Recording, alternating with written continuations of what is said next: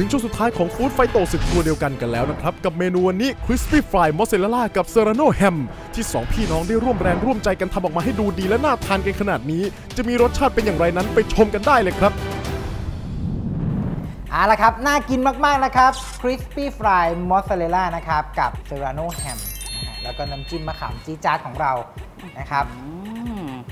คุณต้องโชว์นิดนึงนะคะว่าชีสของเรานี่คือกรอบนอกข้างในนี่คือละลาย ไม่ละลายแล้วถือว่าละลายแล้วกันนะครับอืมอืมผมจะกินแบบคำเดียวเลย เขาเรียกว่าเป็นไบต์อ๋อ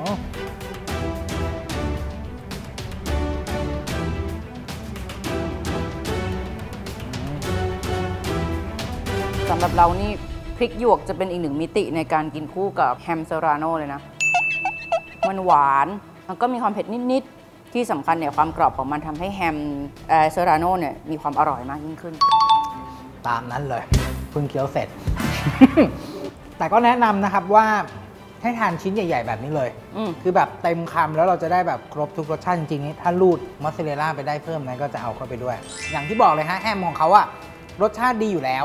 ปกติเขาก็ทานแบบนี้แหละอาจจะไปคู่กับตัวผักอย่างอื่น หรือผลไม้อย่างอื่น ดังนั้นเนี่ยวันนี้เราเอาเหมือนมีของทอดมา แล้วก็เอาแฮมของเขาเนี่ยเซราโนมา มันก็จะมีรสชาติที่เพิ่มขึ้นแล้วก็อร่อยยิ่งขึ้น แนะนำครับวัตถุดิบดีๆ แบบนี้นะครับไม่จำเป็นว่าจะต้องทำยาก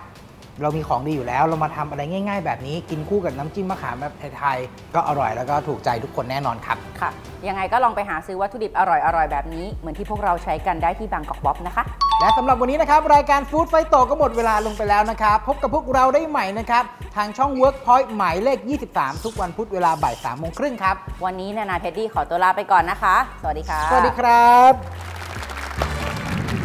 เป็นยังไงกันบ้างครับกับ Crispy Fry Mozzarella กับ Serrano Ham ช่างเป็นเมนูที่ทำได้ง่ายๆ แถมอร่อยน่าทาน ยังไงก็ลองนำสูตรนี้ไปลองทำหรือว่าจะดัดแปลงตามความชอบก็ได้กันเลยนะครับ ท่านผู้ชม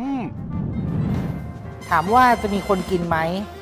นะครับพริกทอดอาจจะไม่มีทำไมอะแหมพอไปเสิร์ฟคู่กันพริกทอดกับชีสทอดคุณกินคุณคู่จะกัน ใส่ๆเลือกพริกพริกทอดเหรอครับเนี่ยกินคู่กันไง เวลาเสิร์ฟคู่กันต้องถามเลยเอ้ยเสิร์ฟคู่กันแปลว่าต้องมันต้องกินคู่กันแล้วอร่อยอื้อหือโอ้ ทำไมอะยอดเลยอะ สามกล้องนี่แบบจับจ้องตอนเอาผักออกแค่นั้นแหละ